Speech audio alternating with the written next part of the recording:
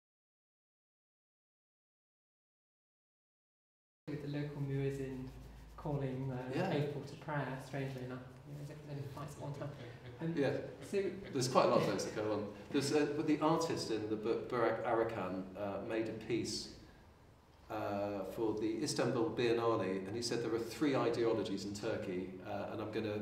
He, he makes art out of network maps, and he studied at MIT, and he makes really quite complex representations of networks because he says networks the real ideology not political figures, not icons. So he sort of agreed with the premise of the book. And so he said, um, the, the artwork started, and his work's got much richer, so he went back to He said, he started, I was just fascinated when I was a kid about the echo and the sort of disparity in timing between the different uh, calls to prayer.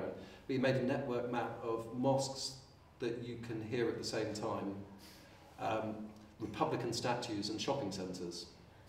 And he said, this is, this is Istanbul. And it, it, it, it, it, it he said the really Western thing would be to sort of, in a way, try and explain this. And he's like, uh, you know, it's just like, here is the network. And he did something on a huge political scandal called Ergenicon, which is like the shadow government and this attempted coup.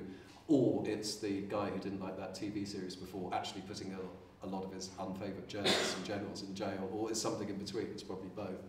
And he took the court's transcript about two and a half thousand pages and mapped all the connections between the names. So if there was a thing in the talk transcript that said John called Carlos, we'd have another link made in note. And he just he made in a, someone's flat, he made an artwork where people could then explore this and find new links. And all these journalists and other people came down and said, so who's who's the ringleader and who's Mr. Bing? And he said, I don't know. I mean, come and look at all, come and look at the data. But he, he has this idea that we're sort of you know, these are the sorts of insights that I found valuable is that saying, well, actually, this iconic thing is a bit the Ronald Reagan era of politics and the big figure, and do we still have that kind of faith in big personalities now, or is this network, pervasive social network world, actually where the real politics is? And um, he makes art which just shows that his classic piece was a three-year study of his spending patterns on MasterCard, which was born out of his fears that MasterCard shouldn't have better analysis and data than he had. And,